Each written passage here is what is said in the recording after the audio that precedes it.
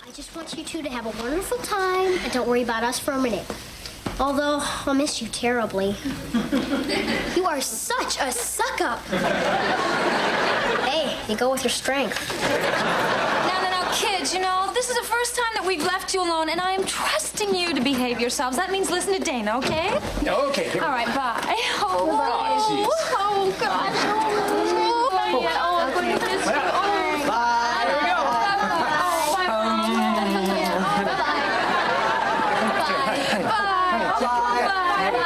Okay, here we are. Bye-bye. Oh, and um, uh, one more thing. No parties while we're gone. Don't worry, Carol. You can trust us. Okay, bye. Bye-bye. Bye-bye. It's party time! You don't like my cooking? Make your own dinner. Just don't make a mess. A couple of my friends are coming over. Whoa, whoa, wait a minute. You're having friends over? They're from my study group. Great. I'll invite my study group. You have a D average. You need a study group for that? Hey, we spark each other. Forget it, JT. No parties. Well, you're having one. It's not a party. We're gonna study. Uh, Dana, I think the distinction you're drawing is a very nebulous one. Any activity from which someone derives pleasure could be construed as a party.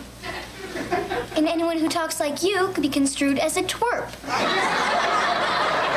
Look, I want to be fair. Since I've invited two friends over, each one of you can invite two friends over. All right.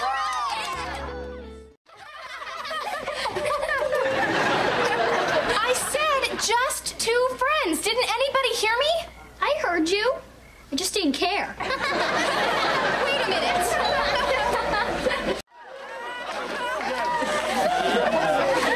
Okay, that's it. Everybody out. Get out! It's hopeless. Oh, yeah? Watch this. We're out of food. Let's go.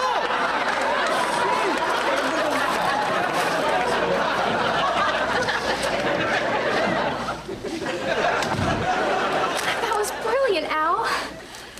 Thanks a lot. Well, I figure I owed you since my pig's asleep in your underwear drawer. Who cares, as long as everybody's gone. JT, let's start moving this furniture back.